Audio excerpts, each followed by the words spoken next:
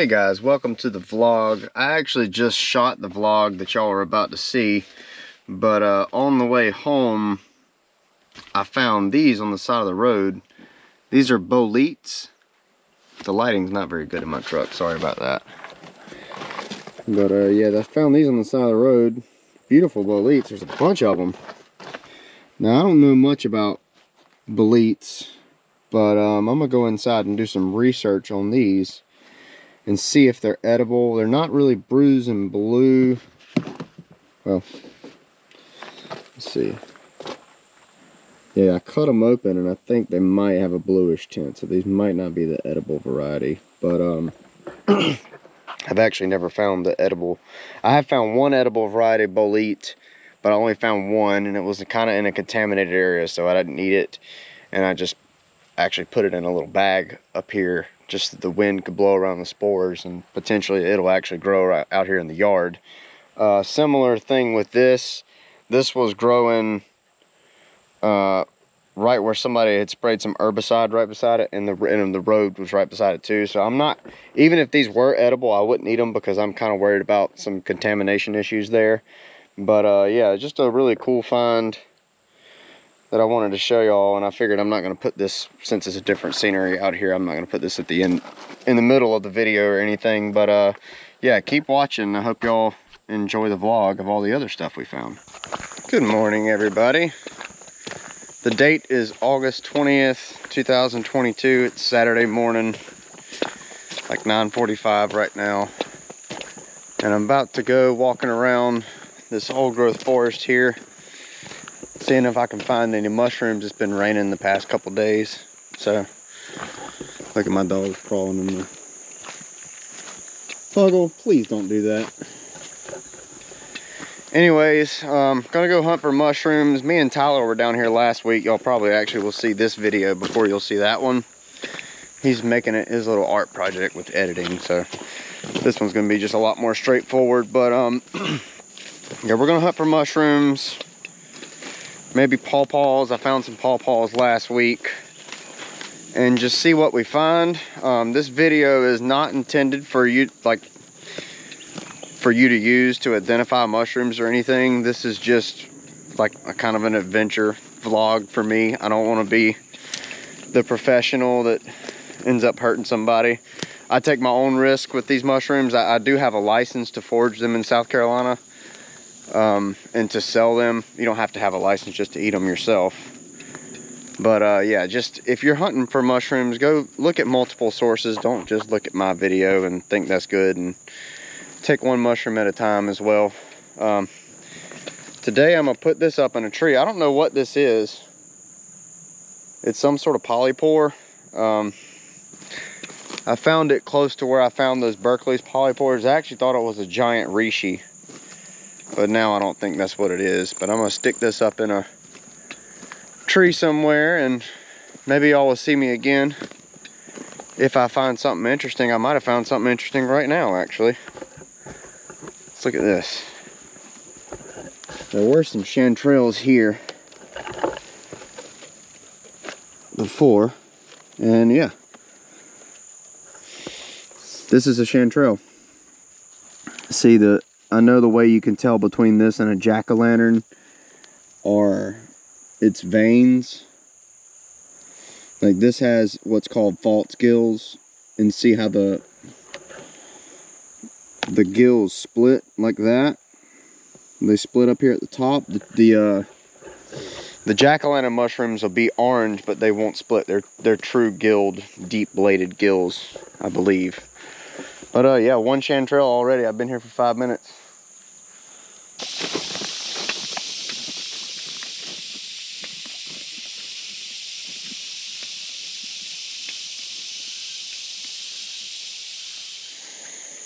Here. This sod's got some old and I believe they're younger oyster mushrooms.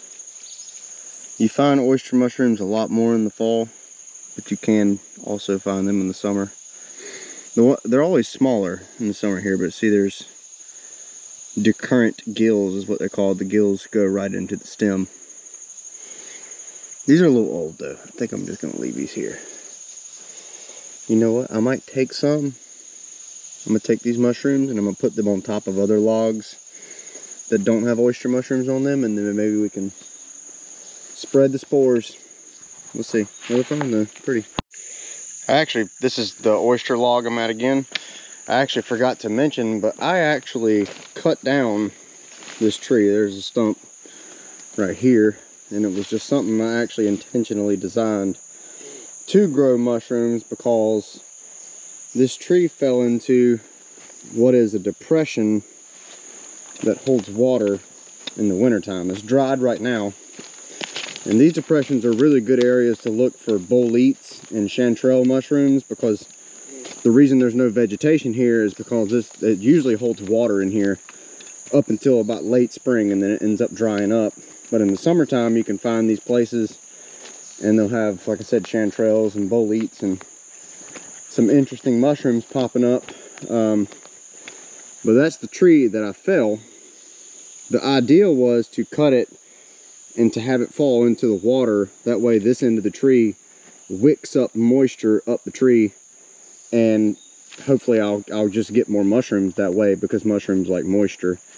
I've actually noticed that a lot of um, mushrooms grow like on beaver dams and stuff.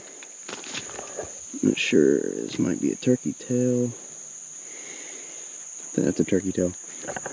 I'm not really good at identifying turkey tails. I've never actually experimented with them or anything, so don't listen to me on that. But um, yeah, just a little experiment I tried there and it seems to work really good. So I'm gonna be felling a lot more trees into water bodies because uh, I'm getting oyster mushrooms now.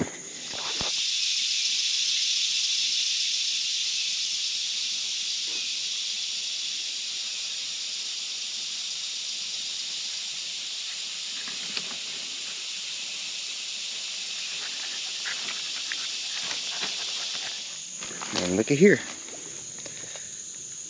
First pawpaw for the day. That'll be good. There's another one over here. These are what pawpaw leaves look like. I, I actually found a lot of pawpaws the other day on the other video and I kind of freaked out. I've always just kayaked and picked up pawpaws or just picked them off the trees um, but this year is the first year I've walked around and actually looked on the ground. But here's another one. That one's really soft. That one's, I'm gonna leave that one there. But yeah, keep an eye out for those. It's a little grove right here.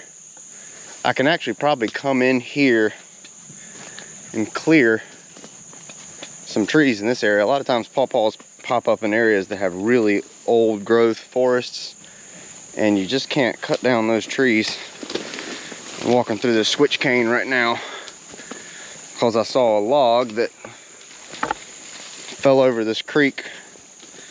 This is called Beaver Dam Creek, and I think there's oyster mushrooms on it. I need to come back here with a scythe. This is, be careful. this is a floodplain area, so I'm gonna see some snakes today for sure. Look at this stuff I'm about to walk through. Yeah, don't I got these big rubber boots, so don't do this unless you have this. But see that log over there? It's got some sort of mushroom on it. Push through. Here's something interesting. Not sure what this is.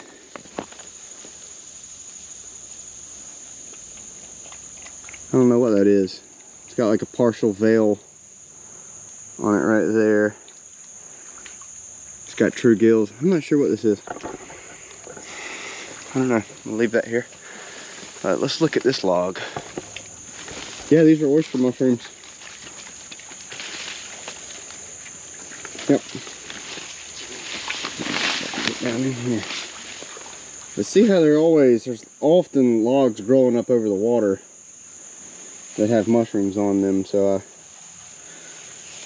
really designed that around here, but yeah, you can see they all these gnats on them. These are oysters. See the decurrent veins. Be careful when you're picking oysters in the summertime because there are um, false oyster mushrooms that I have seen. I can't remember. Think they're called uh, partially veiled, veiled, the veiled oyster mushroom, which I, I can't remember if that's an edible or not. I've never eaten it. I just eat the true oyster mushroom. But yeah. And maybe these are, like I said, I don't know much about turkey tails. Look how beautiful they are though. These are gorgeous. But yeah, lots of oyster mushrooms. Not often you get to wade into a river to harvest your food. This one's still good. Yeah, I'm gonna take some of these home and eat them. So we got one chanterelle and some oyster mushrooms. Um, one thing, if you ever, if you're hunting chanterelles right now, I would recommend, if it's your first time and you only see one like I just saw, don't pick it and eat it because that's not normal. Usually you see chanterelles and there's a bunch of them around. They don't grow clump, but they're they're solitary, but there's usually usually a lot of them. And that's kind of odd that I found just one. I actually found two smaller ones uh, later in the same area after I turned off the camera, but another thing to think about when you're finding chanterelles. But I'm gonna pick some oyster mushrooms.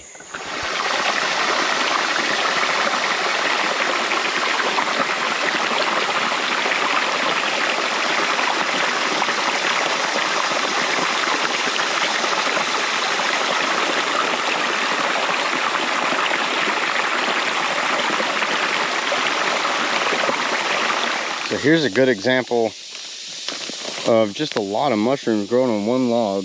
There's these, I think these are actually, I, like I said, I'm not gonna speak on these turkey tails. Look how, or whatever these are, I'm not gonna speak on them.